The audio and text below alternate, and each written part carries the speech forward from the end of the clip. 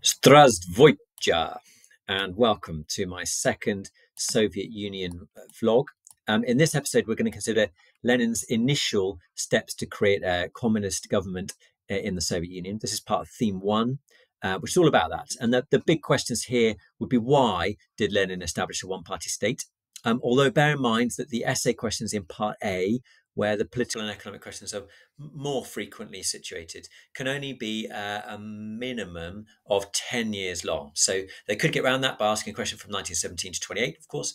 Um, but you're more likely to get a second type of questions, perhaps, which would be how is Lenin's communist one party state different or similar um, to later versions under Stalin or Khrushchev or Brezhnev. And indeed, the exam board have deliberately flagged up the idea that students will need to understand changes in leaders' control of the state across the years 1917 to 85. They've explicitly said that in their um, outline of what you need to learn.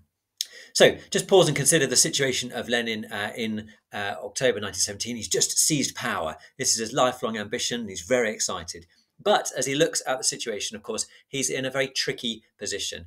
Um, the Soviet Union as they're going to be called, are in uh, stuck in the First World War, uh, and it's going very badly for them. And not only that, but the First World War itself is draining the economy of, of any life that it had in it, and that was limited to start with. There's very poor amounts of industry um, and uh, a growing agricultural crisis due to partly due to the state of the economy and partly due to um, a lot of the troops and, and animals and livestock being taken away from um, the farms and used um, in the military.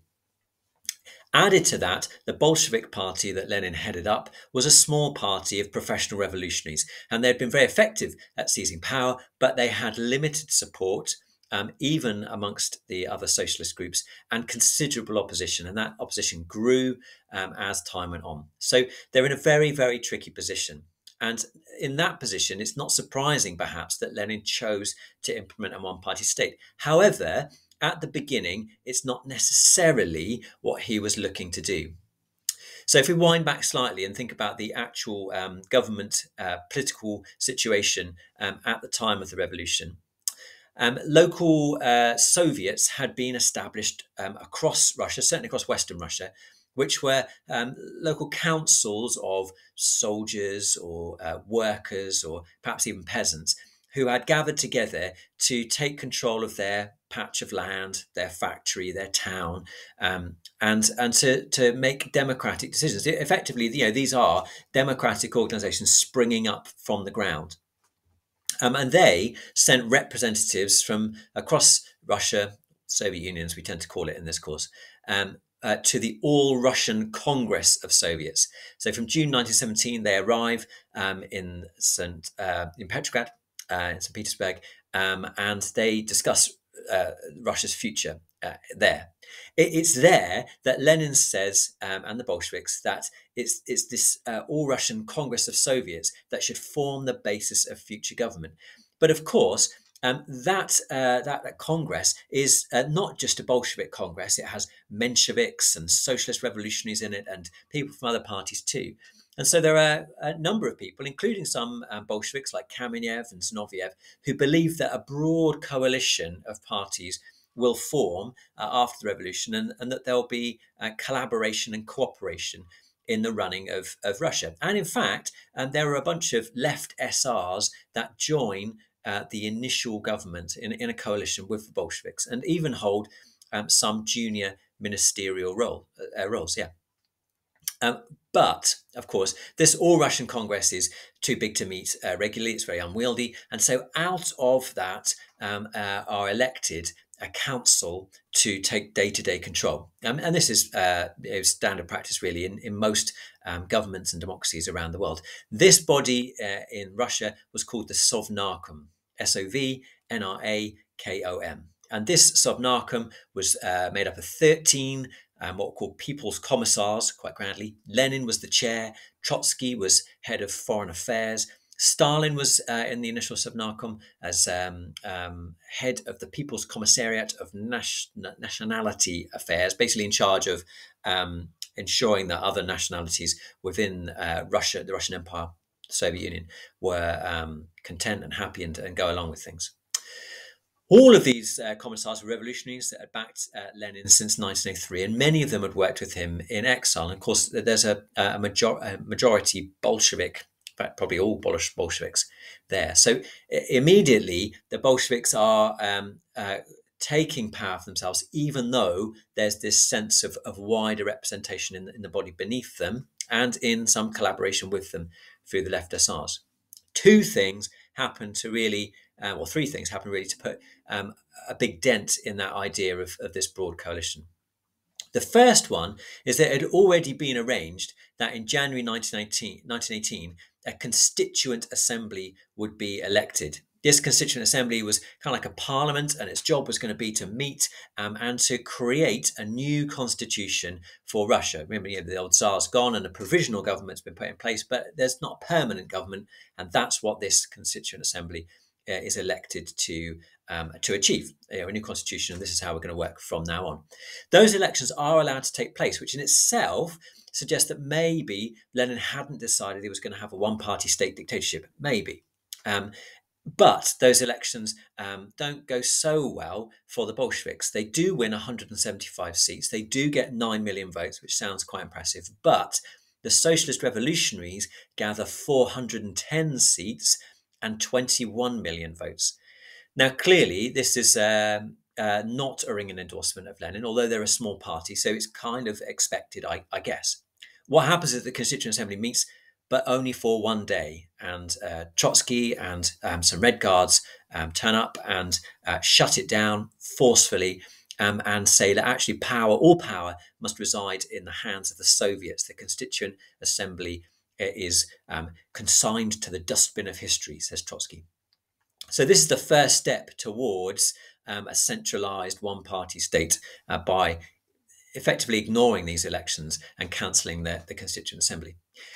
The second step occurs with uh, one of Lenin's key policies. Lenin um, is very clear right from the start that the First World War has to finish, that, that Russia has to get out of it, um, and that they will um, have to surrender um, to Germany and, and sue for peace. Now, they do that straight away, but of course, leaving the war in that sort of circumstance leaves them at the mercy of Germany. And Germany um, are all too happy to, uh, to take advantage of this. This leads in March 1918 to the Treaty of Brest-Litovsk.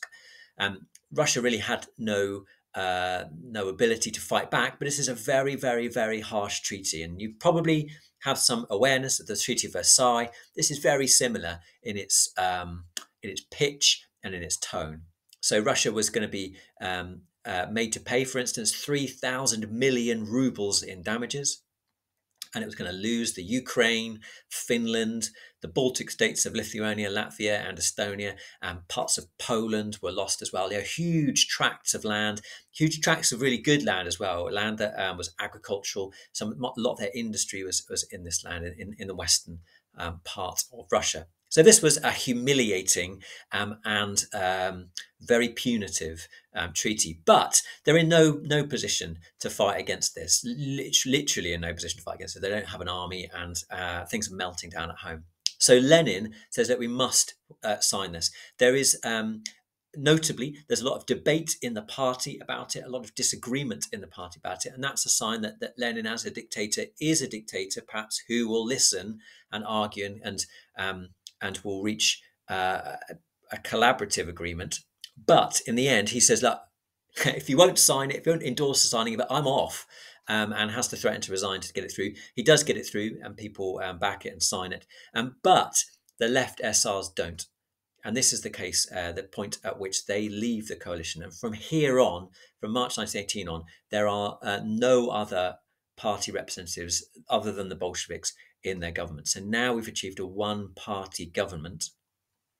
Um, and um, in the following months, uh, um, things progress even further. That in April and May, there are elections to the Soviet. And again, the Communist Party do all right, but not um, that well. Lenin claims that these uh, elections are unfair um, and he doesn't recognize results. Um, future elections are, are postponed and the whole thing is kind of closed down In fact, interestingly, um, this also uh, triggers um, some purging of the parties. Um, first of all, in May 1918, of the Communist Party itself, half of their members are kicked out of the party. They're not um, executed, but they're kicked out of the party. This is the first Chistka um, or purge.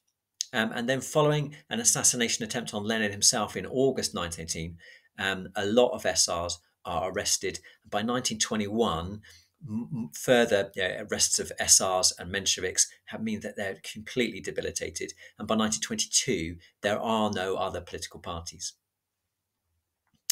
Now, um, next time we'll talk about uh, perhaps censorship and the impact of, of, the Civil War. But this is the sort of gradual process by which um, Lenin uh, uh, established a one party state. It's important to remember that whilst he may have intended it, and ideologically, the idea of a dictatorship of the proletariat is a Marxist um, a pol- a policy statement. Um, and it makes sense looking back that they would end up being in a one party state. Uh, that said, there is a sort of uh, a reactive element to the policies that Lenin had, um, and they emerge over time and in particular situations. And so um, I think if you could characterize this um, as a gradual development of a one party state, uh, where um, elections are held, and then afterwards, because the results didn't go well, parties are, are removed and banned, and um, people are arrested. And that over time, and in the context of the Civil War, there is a growing centralization, but that it's um, a slightly erratic and chaotic development of um, that process. We'll pick up on this next time uh, when we look a little bit more at the other things that are going on in these uh, initial years. But I hope that's helpful in terms of the structure of, of the um, government, and I will see you next time.